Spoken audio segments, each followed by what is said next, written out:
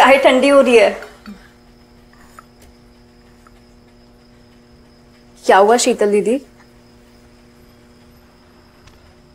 सब ठीक है? ये गुजर गए तो इनकम बंद हो गई। इतने सारे खर्चे। थोड़ी मदद।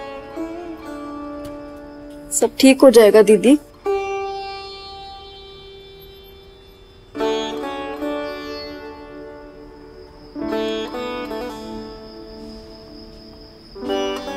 मैं कुछ हो गया तो मुझे भी ऐसी छोटी मोटी चीज़ों के लिए उधार। नहीं मांगना पड़ेगा।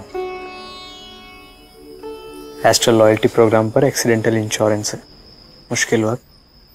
निकल जाएगा एस्ट्रल लॉयल्टी प्रोग्राम इसमें प्लम्बर्स और डीलर्स को बहुत कुछ मिलता है। लाखों का एक्सीडेंटल डेथ इंश्योरेंस भी। मुश्किल वक्त में छोटी सी मदद।